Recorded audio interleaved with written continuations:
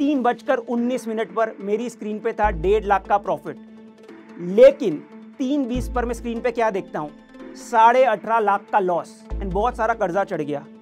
लोग मुझे कहने लगे कि ये शेयर मार्केट वेयर मार्केट छोड़ और कुछ ढंग का काम कर जहाँ स्टेबिलिटी हो। एक साल की तैयारी के बाद मैं मार्केट में वापस आया एंड तब बैंक निफ्टी में वीकली ऑप्शन शुरू ही हुए थे। आज की तारीख में प्रॉफिट्स करके मैंने अपनी ट्रेडिंग कैपिटल को 15 करोड़ तक पहुँचा दिया है।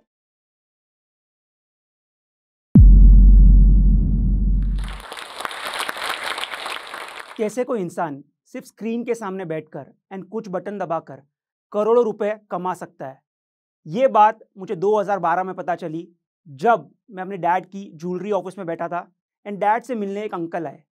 वो अंकल उस समय बाकलेस के हेड ऑफ़ ट्रेडिंग थे एंड बातों बातों में बता रहे थे कि उन्होंने इस साल कंपनी के ट्रेडिंग डेस्क के लिए 120 करोड़ रुपए का प्रॉफिट किया। उस दिन मैंने डिसाइड किया कि मुझे भी एक ट्रेडर ही बनना है। मार्केट्स के बेसिक नॉलेज लेने के बाद मैं भी मार्केट्स में कूद पड़ा। एंड कहते हैं ना, बिगनर्स लक. तो मेरी लाइफ की सबसे पहली ट्रेड जस्ट डाइल में थी।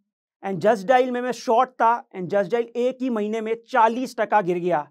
एंड एक ही ट्रेड में मुझे हुआ सेवेंटी फाइव लैक्स का प्रॉफिट तेईस चौबीस की उम्र में जब पिचहत्तर लाख एक ही ट्रेड में बन गए, तब मुझे लगा, अरे वाह शेयर मार्केट तो काफ़ी आसान है।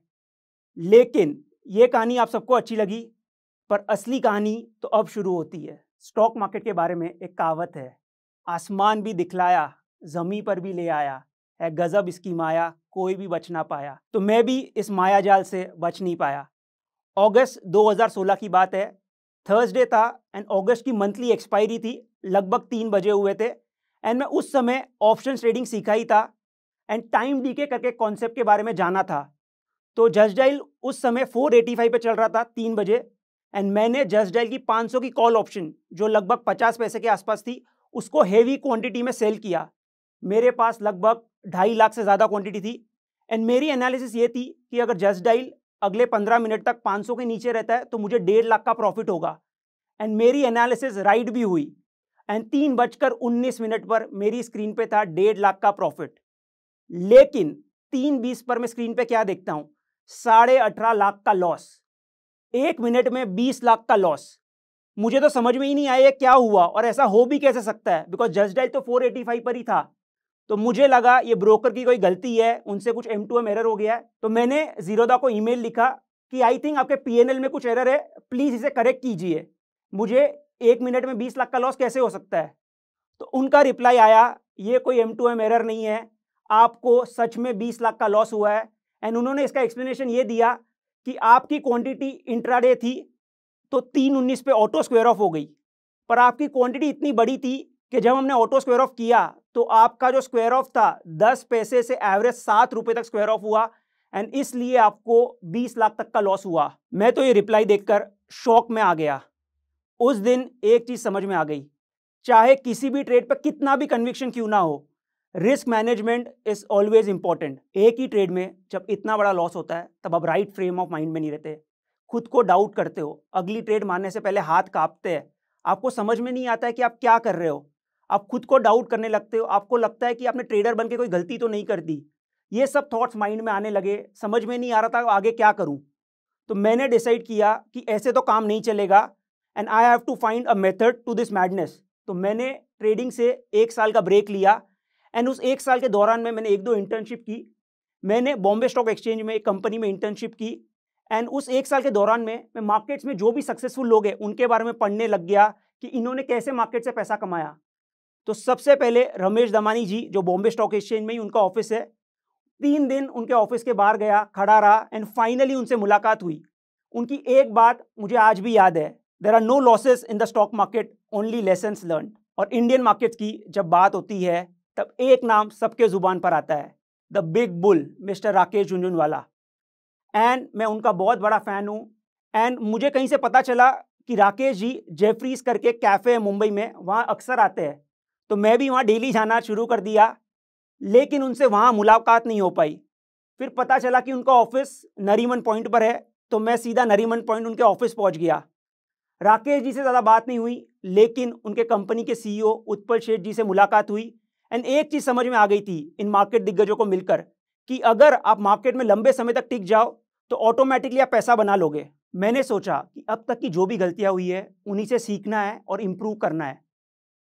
मैंने अपनी एक मिस्टेक शीट बनाई एंड सभी गलतियों को डॉक्यूमेंट किया। रिस्क मैनेजमेंट और ट्रेडिंग साइकोलॉजी की किताबें पढ़ने लग गया। शेयर मार्केट का कहीं भी कोई भी वर्कशॉप होता या सेमिनार होता, वहाँ अटेंड करने में पहुँच जाता था। डेली तेरह चौदह घंटे मार्केट के बारे में पढ़ने लग गया। लोगों के बारे में पढ़ने लग गया जिन्होंने मार्केट में बहुत पैसा बनाया है। एंड मैंने उस दिन एक चीज़ ठान ली थी कि अब मुझे मार्केट में सक्सेसफुल ट्रेडर बनना ही है। एंड मैं डेली विजुअलाइज करने लग गया कि हम ऑलरेडी अ सक्सेसफुल ट्रेडर एक साल की तैयारी के बाद मैं मार्केट्स में वापस आया। एंड तब बैंक निफ्टी में वीकली ऑप्शन शुरू ही हुए थे। मैंने ऑप्शंस का काफ़ी नॉलेज ले रखा था। एंड मुझे लगा ये चीज़ सही है। आपको सिर्फ़ एक थोड़ा व्यू चाहिए एंड रिस्क को मैनेज करना है एंड हम हर हफ़्ते पैसा बना सकते हैं। तो अगले दो साल काफ़ी अच्छे रहे, काफ़ी अच्छा पैसा बना ट्रेडिंग में बहुत ग्रोथ हुई। लेकिन कहते हैं ना, समय से पहले और किस्मत से ज़्यादा किसे भी नहीं मिलता। 2019 में फैमिली के ज्वेलरी बिज़नेस में एक बहुत बड़ा नुकसान हुआ एंड बहुत सारा कर्जा चढ़ गया। लोग मुझे कहने लगे कि ये शेयर मार्केट वेयर मार्केट छोड़ और कुछ ढंग का काम कर जहाँ स्टेबिलिटी हो। तो मैंने सोचा, मेरे पास शेयर मार्केट के अलावा कोई और स्किल भी नहीं है तो मैं करूँ क्या? मुझे सिर्फ़ शेयर मार्केट आता था तो मैंने सोचा इसको सिखाना शुरू करता हूँ। तो मैं लिंकडिन पर कॉलेजेस से कनेक्ट करने लग गया। काफ़ी कॉलेजेस को डेली मैसेज करने लग गया कि मैं एक फिनेंस का वर्कशॉप करना चाहता हूँ आपके कॉलेज में वुड यू बी इंटरेस्टेड तो आईआईटी बॉम्बे ने अग्री किया एंड मेरी लाइफ का फ़र्स्ट वर्कशॉप मैंने आईआईटी बॉम्बे में किया। एंड जब मैं आईआईटी बॉम्बे में गया तो it was a dream come true क्योंकि मैं तीन साल कोटा में था for I I T JEE preparation in Bansal classes and मेरी मम्मी का ड्रीम था कि मुझे आईआईटी में एडमिशन मिले।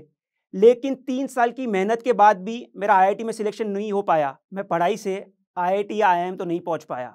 लेकिन मार्केट्स की वजह से IIT Bombay IIT Delhi IIM Bangalore और काफ़ी बड़े कॉलेजेस में पहुँच गया। जब मैंने आईआईटी बॉम्बे के पिक्चर्स को लिंकडिन पर अपलोड किया तो एक ट्रेडिंग डेस्क के सीईओ ने मुझे कहा कि क्या आप ये ट्रेनिंग हमारे ट्रेडर्स के लिए भी करोगे?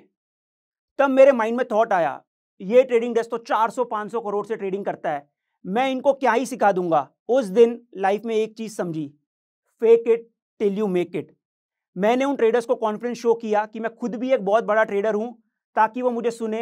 एंड तब की बात है और आज की बात है। अब मानोगे नहीं, मैं आज उस क्वांटिटी से भी ज़्यादा क्वांटिटी ट्रेड करता हूँ। मैं डेली विजुअलाइज करने लग गया कि I am growing as a trader बड़े बड़े लोग मुझे बुला रहे हैं। दिसंबर 2020 की बात है। मैं अपनी फैमिली के साथ जैसलमेर में था एंड तब मुझे ट्विटर पर एक मैसेज आया। मैसेज था सीएनबीसी आवाज़ के प्रोड्यूसर का।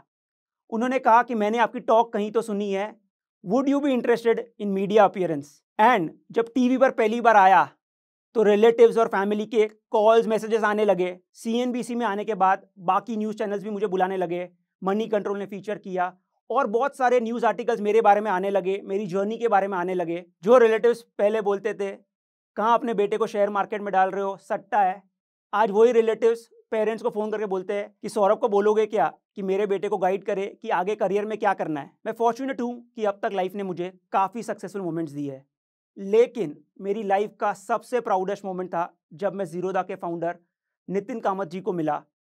उनके साथ बैठकर मार्केट्स के बारे में डिस्कस करके, उनकी ह्यूमिलिटी को देखकर अंदर से एक इंस्पिरेशन मिली कि यार लाइफ में अब तक बहुत कुछ अचीव करना बाकी है, आज की तारीख में प्रॉफिट्स करके मैंने अपनी ट्रेडिंग कैपिटल को 15 करोड़ तक पहुँचा दिया है। ट्रेडिंग ने मुझे लाइफ में बहुत कुछ दिया है फिनेंशियल फ्रीडम दिया है। जब मन होता है कहीं भी घूमने चले जाता हूँ, किसी को आंसरेबल नहीं हूँ। अगर कोई मुझे कहे कि मेरी ट्रेडिंग जर्नी के सबसे दो इंपॉर्टेंट लेसन क्या है तो मैं कहूँगा, सबसे पहले भाव भगवान छे। इसका मतलब है price is the only truth in the market इसको एक एग्ज़ाम्पल से समझाता हूँ।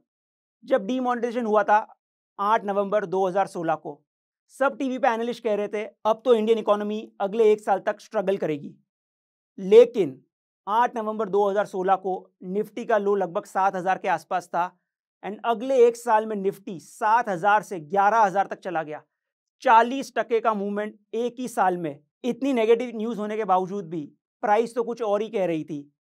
इसलिए एक चीज़ जो राकेश जी भी हमेशा कहते थे વધારે વધારે લેવાનું घटारे घटारे વેચવાનું इसका मतलब है आपको प्राइस के साथ रहना है एज अ ट्रेडर जो प्राइस कह रही है उसी को फॉलो करना है चाहे स्टॉक कितना भी अच्छा हो या बुरा हो प्राइस ऊपर है तो स्टॉक अच्छा है प्राइस नीचे है तो स्टॉक बुरा है लेसन नंबर टू मैंने अपने स्टॉक मार्केट के करियर में ब्रेग्जिट देखा सर्जिकल स्ट्राइक देखा डीमोनेटाइजेशन देखा लोअर सर्किट देखा अपर सर्किट देखा काफ़ी कुछ देखा है लेकिन अगर मैं अब तक स्टॉक मार्केट में टिक पाया हूँ तो उसका एक ही कारण है रिस्क मैनेजमेंट। ऐसा नहीं है कि नुकसान नहीं हुआ, काफ़ी समय नुकसान भी हुआ, पर कभी भी इतना बड़ा नुकसान नहीं हुआ कि अगले दिन आकर मैं ट्रेड नहीं कर पाऊँ। ये एक गुरु मंत्र हमेशा याद रखना, manage your risk at all times. जाते जाते एक चीज़ सभी को कहूँगा, जब आँखों में अरमान लिया, जब मंजिल को अपना मान लिया, तब मुश्किल क्या और आसान क्या? जो ठान लिया, बस ठान लिया। क्योंकि आपने ये टॉक देखी है, इसका मतलब है कि आप अपने जीवन में सही स्किल्स के ज़रिए पैसा कमाना चाहते हैं और सक्सेसफुल बनना चाहते हैं। चाहे कंपाउंडिंग के कॉन्सेप्ट्स हो या फिर स्टॉक एनालिसिस करना, या फिर इन्वेस्टमेंट के बेसिक कॉन्सेप्ट्स को समझना, इन सब में आपकी मदद करता है जो स्टॉक्स का जो स्टॉक्स इंग्लिश स्पीकिंग ऐप यहाँ पर आपको मिलती है पर्सनलाइज क्विजेज यहाँ पर आपको मिलती है ढेर सारी एक्सरसाइजेज और साथ में सबसे इंपॉर्टेंट आपको मिलती है एक ऐसी कम्युनिटी जो आपको हेल्प करेगी फाइनेंस से रिलेटेड टॉपिक्स को बड़े आसान तरीके से समझने में। तो देर किस बात की? अभी डाउनलोड करिए जोश टॉक्स इंग्लिश स्पीकिंग ऐप और लीजिए अपनी फाइनेंशियल फ्रीडम की तरफ़ पहला कदम।